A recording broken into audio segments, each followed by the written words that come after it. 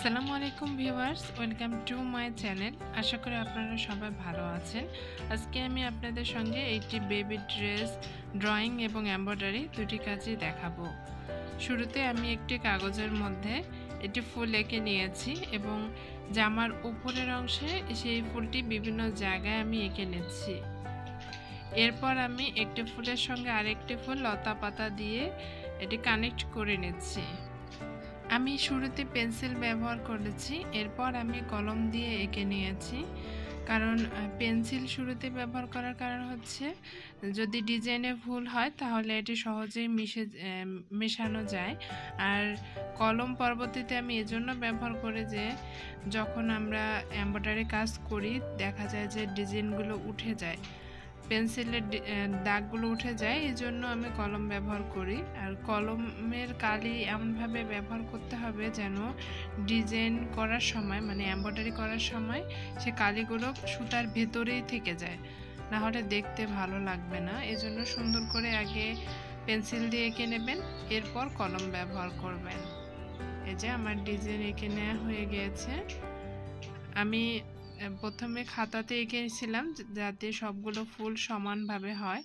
এবং নিচে আমি এই যে এখানে ডলার বসাবো, একটা নির্দিষ্ট গ্যাপ রেখে আমি ডলার বসাবো। এখন আমি হাতের কাজ দেখাচ্ছি। শুরুতে আমি লতা পাতার কাজগুলো দেখাবো। এখানে আমি একটি পাতার ডিজাইন এঁকে দেখাচ্ছি। আমি দুইটি সেলাই ব্যবহার করেছি পাতার ডিজাইন আঁকানোর জন্য। এছাড়া আমি চুমকি বসিয়েছি জামাটিতে এবং ডলারে কাজও আমি করেছি। সবগুলো আমি এক এক করে আপনাদের সঙ্গে শেয়ার করব। যদি আমার ভিডিও ভালো লাগে অবশ্যই কমেন্ট করে জানাবেন। এখন আমি ডালগুলো সেলাই করে নিচ্ছি। ডালগুলো সেলাইয়ের ক্ষেত্রে আমি আলাদা সেলাই ব্যবহার করেছি।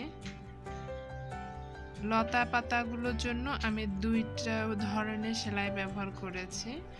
আপনাদের সঙ্গে সবগুলোই আমি শেয়ার করব এবং লতা পাতাতে আমি আলাদা আলাদা দুইটা কালার ব্যবহার করেছি। এখানে আমি সুতি, লাচ্ছি, সুতা ব্যবহার করেছি। জামাটি দুই থেকে আড়াই বছরের বাচ্চার একটি ড্রেস ছিল। এটি একটি অর্ডারের ড্রেস ছিল। আমি ড্রেসের অর্ডার নিয়ে থাকি। যারা এ ধরনের ড্রেস পছন্দ করেন, আপনারা চাইলে আমার ফেসবুক পেজ থেকে ড্রেস অর্ডার করতে পারেন। এখন আমি ফুলের কাজ দেখাচ্ছি। ফুলের কাজ আমি এভাবে ভরাট সেলাইয়ের মাধ্যমে করেছি এবং মাঝখানে আমি চুমকে বসিয়েছিলাম। আমি বিভিন্ন ধরনের ফুল বিভিন্ন কালার ব্যবহার করেছি। এখানে আমি কয়েকটি কালার দিয়ে ফুলগুলো ভরাট করেছি। জামার উপরে অনেক কয়টি ফুল আমি এঁকে নিয়েছিলাম এবং লতা পাতা ছিল। এই পাতার ডিজাইনটিতে আমি দুই ধরনের ভরাটের কাজ করেছি। শুরুতেই তো একটি আপনাদের সঙ্গে শেয়ার করেছিলাম।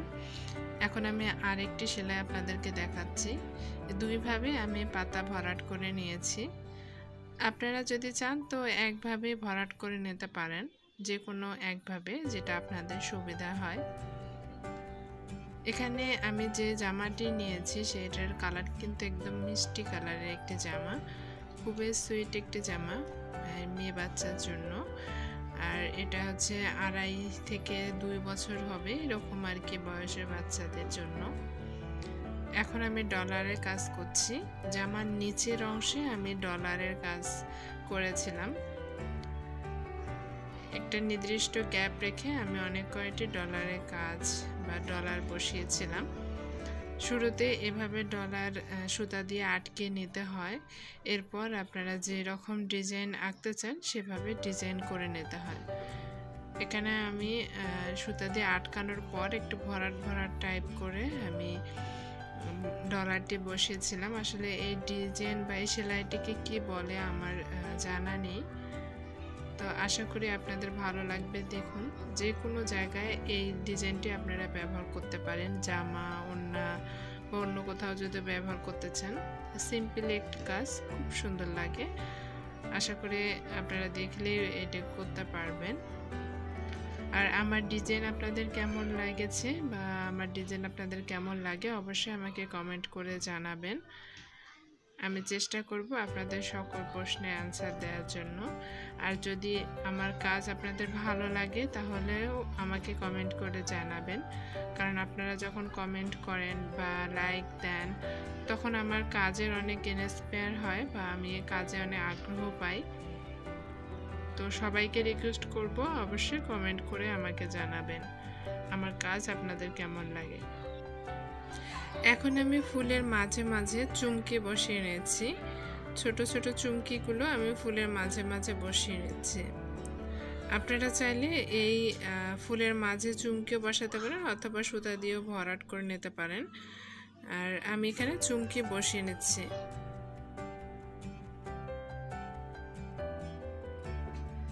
এতক্ষণ আমার ভিডিওটি দেখার জন্য আপনাদেরকে অসংখ্য ধন্যবাদ। আমার ভিডিওটি আপনাদের ভালো লাগলে অবশ্যই আমার চ্যানেলটি সাবস্ক্রাইব করে বেল বাটন অন করে রাখবেন। ভালো থাকবেন। আসসালামু আলাইকুম।